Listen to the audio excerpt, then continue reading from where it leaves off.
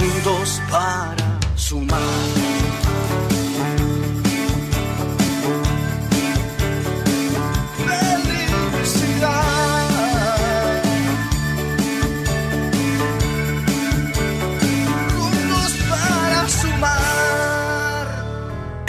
Hola, ¿qué tal? ¿Cómo les va? Bienvenidos a Juntos para Sumar, eh, transitando esta última, esperemos, semanas de cuarentena total, pero claro, la pandemia sigue y nos van llegando muchísimas acciones solidarias, como en el caso de Cholechel. Hay un grupo de futboleros que está haciendo donaciones y un grupo de costureras que no paran de trabajar. Estaremos con recomendaciones para madres lactantes. ¿Por qué? Porque la leche materna le brinda muchísimas defensas al bebé. Y hay un grupo, una banda de Villa Regina que nos invita de una manera muy interesante a quedarnos en casa. Sí, somos un grupo de amigos que se denomina Picante de los 80. Eh, nuestra infancia corrió por esos años y bueno, eh, con el tema de las redes sociales y un montón de cosas, mantenemos muy fuerte esta amistad. Y hace más o menos cinco días, una semana aproximadamente, hemos decidido en conjunto eh, hacer un acto solidario por nuestros hermanos chuelenses que pueden estar padeciendo algo y necesiten algún tipo de ayuda, ¿no? ¿De qué forma los ayudaron? ¿Qué hicieron?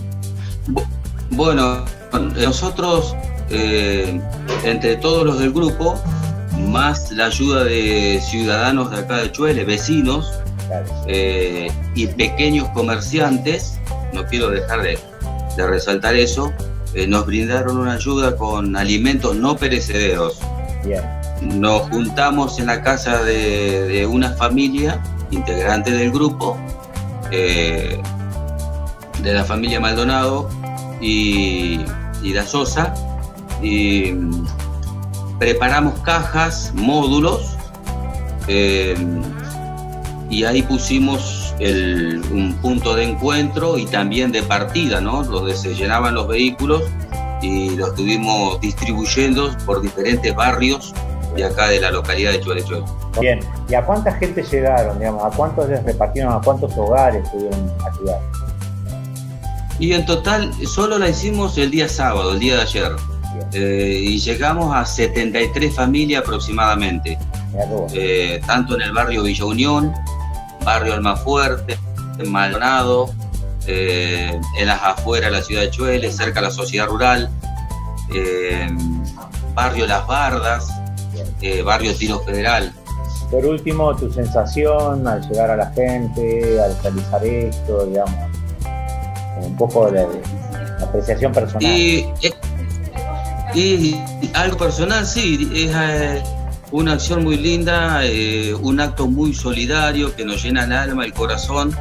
Eh, esto es sin fines de lucro, fue la idea de un grupo de amigos que perdura a través de los años, llevamos más de 30 años de amistad eh, perdura a través de esos años y se mantiene vivo. Y eh, entonces queremos continuar haciendo esto, eh, tratando de llegar a los más necesitados. En el día de ayer, por ejemplo, había bueno este número que andaba en dos vehículos repartiendo los alimentos, llegando a las familias que de escasos recursos, eh, con una edad avanzada de 65, 70, le hemos entregado a gente de 80 y de más edad también. Y eso, eso es muy gratificante, no tiene precio. Eh, nos gustaría repetir esta acción y vamos por más, nos gustaría. Eh, ¿Qué me queda? tenemos un pueblo, una Argentina muy solidaria. Eso me gustó porque, eh, a ver, a través del, eh, ¿cómo te puedo explicar? Eh, a medida que nos íbamos moviendo, los chicos que estaban en el grupo de WhatsApp se montó como una oficina virtual de operaciones, entonces ellos recibían en cierta manera la información de algún pariente vecino y nos decían en zona de paso de piedra, zona chacras, o en tal lugar hay gente necesitada de escasos recursos, por favor aproxímense. Qué bueno, de manera automática se repartieron las tareas, digamos. Claro, entre todos. Y el que estaba en La Plata tiraba una idea, el que estaba en San Antonio otro, el que estaba en Neuquén hacía lo mismo. Eh, y notamos, y gente que también se sumaba y llamaba, nos llamaba a nosotros que andamos los vehículos, también a gente del grupo, y nos decían, mira, estamos en la estación de servicio, eh, Shell, estamos en la estación de servicio IPF, por favor pasen a buscar, quiero colaborar con leche, quiero colaborar con tal cosa, con, con diferentes comestibles, y son cosas que llenan el alma porque contagia, como quien dice, Obvio, y con total desinterés y de corazón, ¿no? Entonces, en este momento difícil, eh, realmente vemos que tenemos, que hay un pueblo argentino que, que afloran estas cosas y, que realmente vale la pena vivir, ¿no? Y vale la pena hacer estas cosas. Seguro, juntos vamos a poder salir adelante. Juan, muchas gracias y te mando un fuerte abrazo. Bueno, otro para vos, Emiliano, un gusto y gracias por esta oportunidad de, de poder expresarnos. Contale a la gente, eh, vos, vos tenés una banda. Sí, señor. Hora libre. ¿De dónde? De Villa Regina. Bien, ya Una banda de pan rock. Mirá vos. Che, ¿y hace cuánto que están en actividad? El, en noviembre cumplimos dos años de banda. En realidad, sí, porque ese fue uno de los primeros ensayos bien que salieron, no salieron así una, una pavada como antes. Claro. Sí, de ahí contamos ahí de, noviembre, diciembre que contamos, cumplimos años, dos años. Bien. Eh, ¿y, cómo los toma esto de la pandemia, esto de estar encerrados y no poder volver a los escenarios? Uf. ¿Qué haciendo? Y está bastante salado. Está. Es triste por algún lado, ¿viste? Porque estar tan acostumbrados nosotros que somos una banda que, no sé, la suerte que tenemos de tocar a cada rato, todos los meses, tenemos un concierto por lo menos. Qué bueno. Eh, y claro, están ensayando sí o sí una o dos veces por semana y ahora decir, eh, vamos a ensayar, no, no se puede. y también cancelar, viste, los, shows que teníamos, viste. Teníamos un encuentro de motos, eh, un par de conciertos fuera de la ciudad, viste, y es como nosotros nos preparamos a largo, ¿viste? Por ejemplo, tenemos eh, en dos semanas más tenemos un concierto que vamos a tocar con una banda de más rock and roll que punk. Así que nos preparamos con algo de rock and roll, ¿viste? Claro, claro. Y, prepararse eso lleva tiempo y cuando vas a tocar justo sale esto y ¡oh! Claro, frustrante, digamos. Mm. sí, bien feo. Y los otros chicos, bueno, tiran ideas, viste, para hacer cosas, pero no se puede hacer nada. ¿Y ustedes han participado, suelen participar también de distintas cosas vinculadas con la solidaridad, no me contaba? Sí, sí, un montón de eso tenemos. tenemos eh, bueno, en realidad nosotros todavía no somos de organizar conciertos, ¿viste? Pero los que organizan ya somos re amigos, ¿viste? Y, y saben que nosotros no, no somos así que eh, voy a tocar y no me da ni dos pesos. y es que somos una banda de que no estamos, qué sé yo, tenemos nuestras canciones, tenemos nuestros discos, nuestro videoclip, todo, pero tampoco es sería tan estúpido hacer esas cosas, ¿viste? Vamos a tocar para juntar unos, unos útiles. Y dicen, ah, bueno, dos mil pesos, lo mínimo que cobramos. Bien. Nada. Nosotros, nosotros sí, tocamos muchas veces y seguimos tocando gratis para, y porque es conciencia, ¿viste? Claro, obvio, es un, te, doy y, todo vuelve, ¿no es cierto? obvio. Claro, eso, exactamente así es siempre. Y bueno, se te ocurrió la idea de hacer un, video, ¿no es cierto? Para que nos quedemos en casa, para que todos tomamos conciencia, tomemos conciencia, ¿no? Ese video fue. no me acuerdo. Me acuerdo, ¿sabes cómo fue? Eh, eh, escuché, hubo, una historia de. ¿Cómo se llamaba? Hay un almacén en Buenos Aires que se llama Mala Difusión, ¿viste? Y ahí siempre suben cosas re raras, ¿viste? Re locas, de punk, ¿viste? Y había uno que empezó a cantar así de la nada, uno, dos, ultra virulento, ¿viste? Oh, este, es muy bueno, ¿viste? Y yo agarro, oh, voy a hacer un video ya que estoy al pedo. Eh, bueno, voy a, voy a hacer algo y, y quería hacer algo de alcohol en gel, ¿viste? Y, pero yo no tenía alcohol en gel. Así que agarro, yo, ahí en el video aparece un cosito como si fuera alcohol en gel, pero es detergente, ¿viste? Me puse ahí, bueno, alcohol en gel y ahí con edición, ¿viste? Primero grabé la guitarra, la voz ahí en el grabador de celu. Muy bueno. Porque si no, no puedo escuchar más. encima parece que está desfasado la imagen y el sonido. Ni se nota. Te digo que ni se nota. Fue para, fue para reírse un rato y concientizar un toque, ¿viste? Seguro, seguro. Bueno, baby, te dejo, te, agradezco, nos vamos a quedar con, con, ese video para que lo vea la gente y ojalá que te, esto pase, ¿no es cierto? Y vuelvan a, los escenarios para compartir lo que, lo saben hacer. ¿eh? Ojalá, ojalá que pase rápido y que la gente tome conciencia de que no tiene que salir, que no sea tan tonta. Un abrazo muy grande, nos vemos. Gracias, Emi. Chau, chau. ultra virulento. Uno, dos, ultra virulento. Nos quieren enfermar.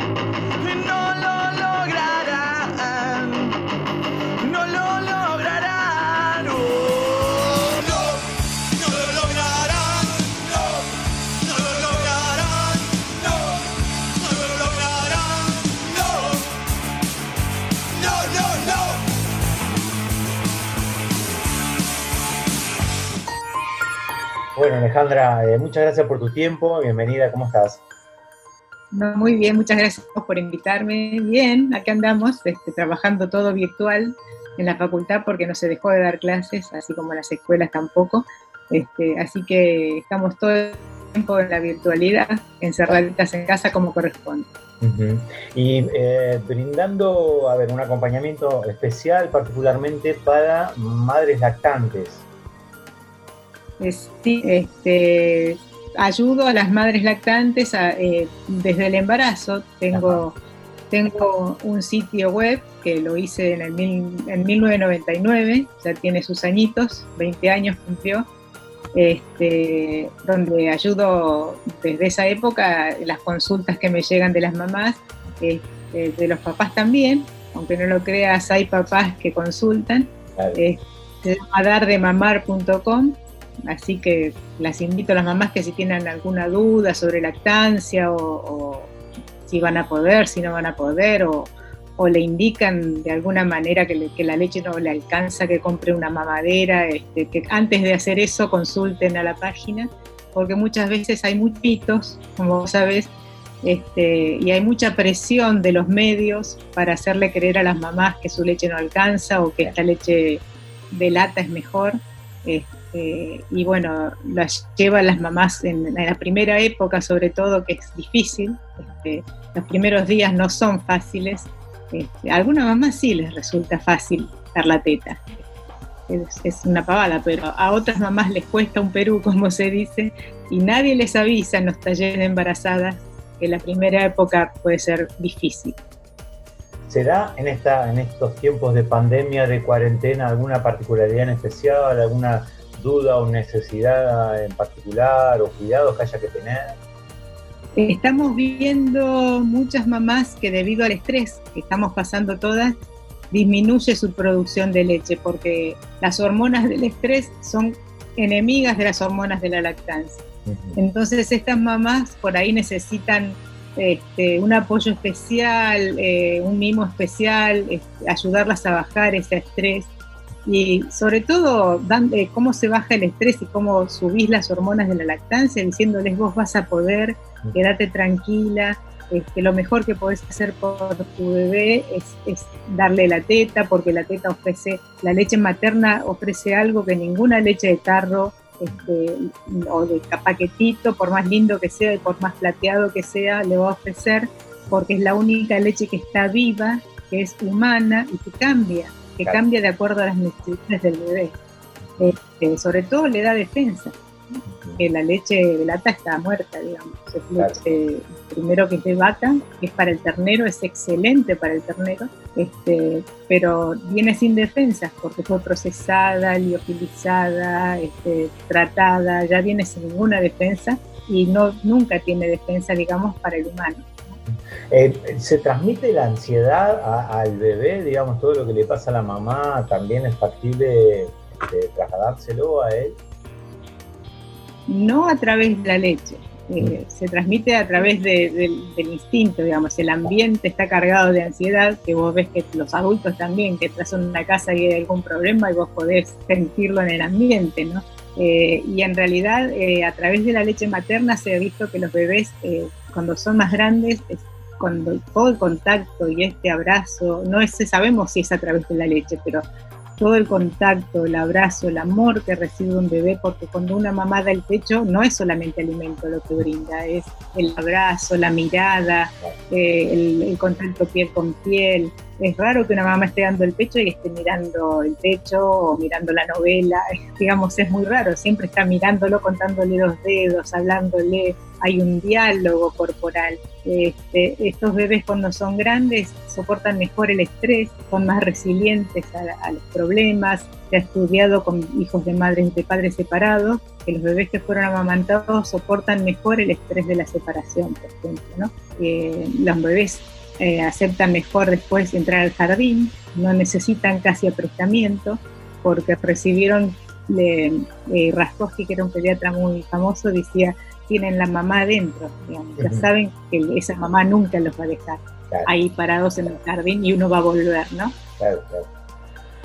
Eh, ¿Algún otro tips como para redondear eh, para las mamás que están hoy en situación de, cuarentena, encierro, digamos, ya dijiste esta cuestión de, darles la, leche, de tratar de no ponerse nerviosas y demás?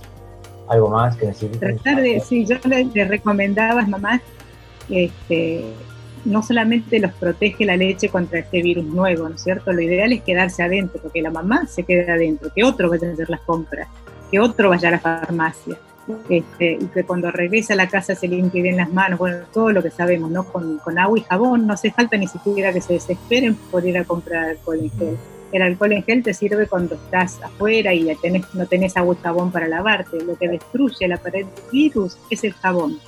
Entonces en la casa, agua y jabón, este, jabón líquido o jabón en pan, lo que tengan, que otro vaya a hacer las compras, se higienice mucho eh, perfectamente al entrar y que la mamá que está amamantando trate de no salir ni la nariz afuera.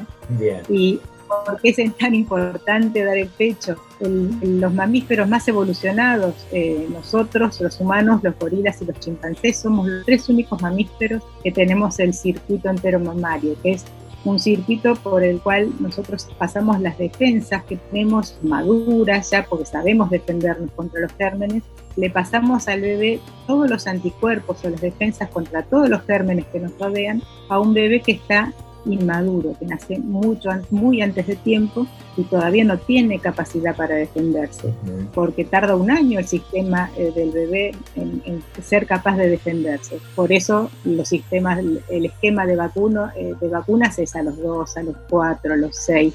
No es que seamos sádicos los que, los que planeamos la vacunación, sino que estamos acompañando que ese sistema termine de madurar y las vacunas se aplican hasta los 12 meses, 18 meses, porque todavía no está maduro el sistema.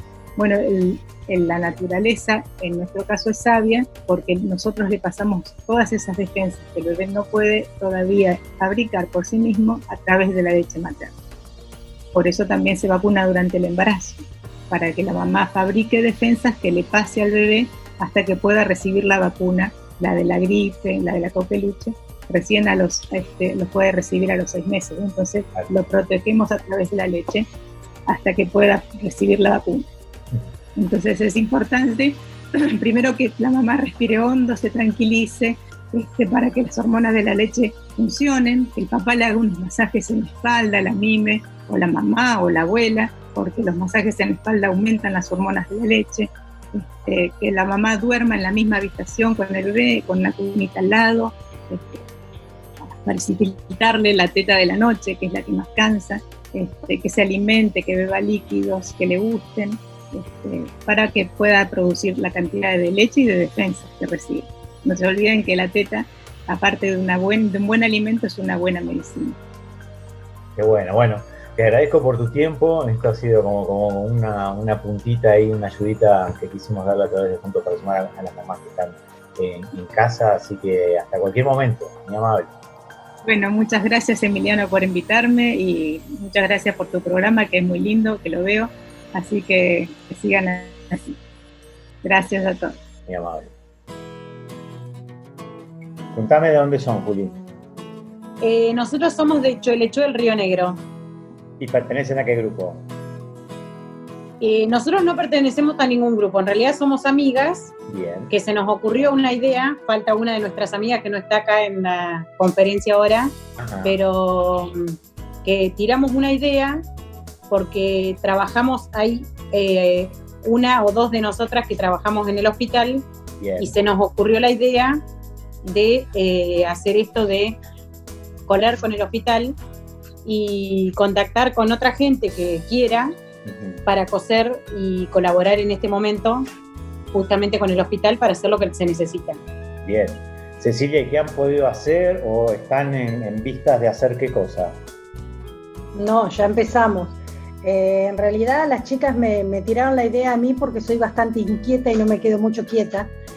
Exactamente. Y como soy la única que no trabaja en salud en el grupo, fui la que más o menos tiré la onda al- a los conocidos de quién se quería agregar a un grupo de WhatsApp de costureras solidarias. Esa es la idea. Eh, armamos creo que el 19 y ya para el 20 éramos 30, ya ahora somos 50 y estábamos haciendo barbijos y camisolines, que fue lo primero que arrancamos. Ahora ya el hospital sabe de nosotras y nos pidió cofias y botas, todos descartables por el tema de la pandemia, ¿no? Claro, siempre es importante hacer lo que se necesita, porque uno por ahí desde casa supone que necesitan algo y, y tal vez eso no es lo, lo importante. Eh, ¿Ya hicieron alguna entrega, Juli? Contame. No, mira, eh, todavía estamos recolectando, en realidad para no circular tanto, lo que hacemos es, eh, decimos que nos traigan o a mi casa o a lo de Cecilia, y también pusimos un supermercado, que es el Super 11, que nos colabora, Bien. Eh, pusimos primero una urna para que la gente que quiera colaborar, que no sabe coser o que no quiere, que no tiene tiempo, qué sé yo, tiempo tenemos todo en este momento, pero bueno, eh, la gente que quiere colaborar con plata para comprar insumos para esto, eh, la puede llevar ahí al Super 11 que siempre van a hacer compras, entonces para tener un lugar, viste, fijo y no andar circulando. La idea es mandar al hospital de Chuele, ¿sí? Pero el hospital de Chuele pues se encargará de mandar a las otras zonas porque nos están pidiendo de Chimpay, de Beltrán, de La Marque y, y no, damos, no damos abasto. Lo bueno es que el grupo se replicó y por ejemplo La Marque ya se armó un grupo y ellos también cosen allá. Qué bueno. En Beltrán se quiso, pero tienen problemas para conseguir los insumos y no tenemos manera de hacérselo llegar. Estamos todos medios complicados con el tránsito. Bien. Juli, contame, vos entonces sos una de las que trabaja en el sistema de salud. Exactamente, sí. Y se nos ocurrió porque la verdad que, o sea, por ahí todavía no tenemos ningún caso, gracias a Dios esperemos Claro. que todo sea tranquilo.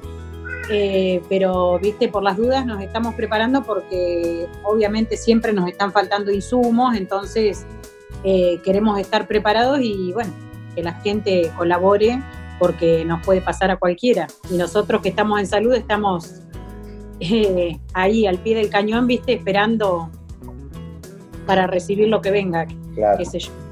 Eh, contame por último tu sensación de todo esto que está pasando, de la respuesta de la gente, qué se siente al, al- al hacer este tipo de acciones. Y la verdad que yo me siento eh, orgullosa y me, me- me siento tan feliz de lo cómo ha respondido la gente, pues la verdad que ya te digo, la solidaridad del pueblo y aparte, eh, por ejemplo, las casas donde venden la tela, Mm, eh, que están todas cerradas en este momento porque no pueden abrir, eh, nos llaman por teléfono, ¿viste? Y nos dicen que, que no hay problema, que nos hacen delivery, que nos abren las puertas para ir a buscar tela. Nos han donado también, cada casa nos ha donado un montón de tela, elástico, hilos, de todo. La verdad que tanto los negocios como la gente, la solidaridad es tremenda. En estos casos es, la verdad que se ve, a mí me, me impactó. Qué bueno. Esa es mi sensación. La misma pregunta para vos, Ceci, contame, mientras te pones alcohol en gel veo. Porque me olvido y me toco la cara y sé que no hay que tocársela. Nada, yo estoy también re sorprendida. Eh, sorprendida bien por una situación tan fea que nos toca, estamos todos a la espera de que la gente haya tenido esa respuesta con nosotros. Y mucha gente que no conozco.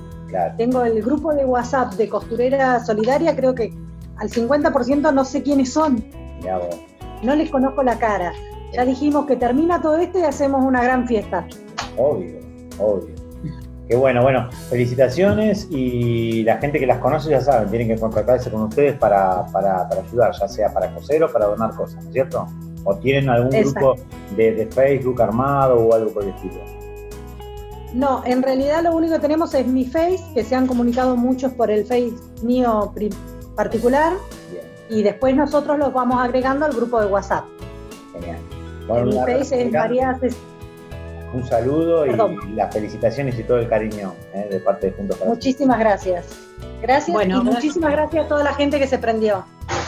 Exactamente, gracias a todos los que colaboraron y espero que en otros lugares de la provincia también eh, se enganchen con esto y puedan colaborar con, con, los hospitales también, porque la verdad que es bueno. Es bueno ser solidario, eh, te sentís bien y aparte ayudar porque es para todos. Si nos cuidamos entre todos vamos a salir adelante. Ya sabés que podés volver a ver el programa en nuestro canal de YouTube y compartirlo en las redes sociales para seguir contagiando solidaridad. Nos volvemos a encontrar la semana próxima.